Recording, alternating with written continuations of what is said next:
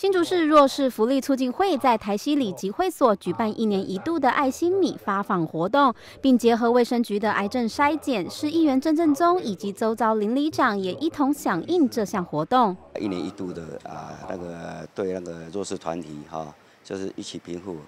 对他们的一些小小的意思，就是发放啊米粮，然后让他们能够啊起码在短时间之内能够安心的过他们的生活。那么，相信我们理事长也是我们台西理事长，我们曲西理事长，我们议员理事长，我们发展协会的啊，呃，理事长都会都鼎力在啊帮忙出钱出力。那么我相信啊，所有的啊被救济的啊，一定会带着感恩的心，一定会好好过他们的生活。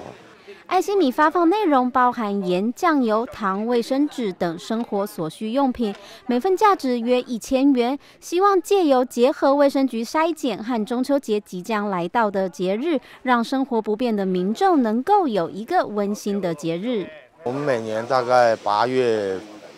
八月中旬的时候，这个就会做这个发放爱心米的一个一个一个活动。呃，今今天我们准备了大概就三百份的一个。物资啊，一份里面有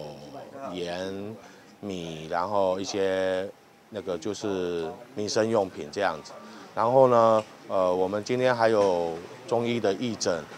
还有这个卫生局来的那个一个癌症的三检，